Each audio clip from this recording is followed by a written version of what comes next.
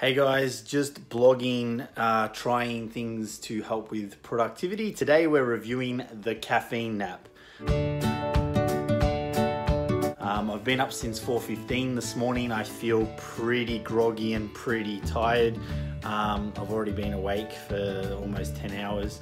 So I've set an alarm for 25 minutes. I'm about to drink my coffee and the next video will be how I feel when I wake up. I am pretty tired right now and I need to be productive for the rest of the afternoon. So let's see how this goes.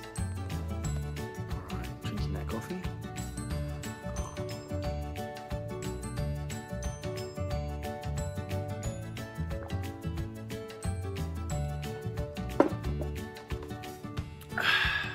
Alright, let's go to sleep and um, see how I feel when I wake up.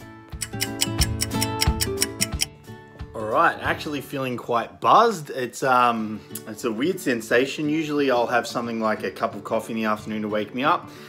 Um, if I had to rate how I feel energy-wise, I'd probably say I'm almost up there at a 10. So big tick of approval from me. I think this is a fantastic, viable piece of science and give it a try guys. If you're interested in more information about the sciencey part on how this actually works, please click the link below and I'll share the information on how this coffee nap actually works.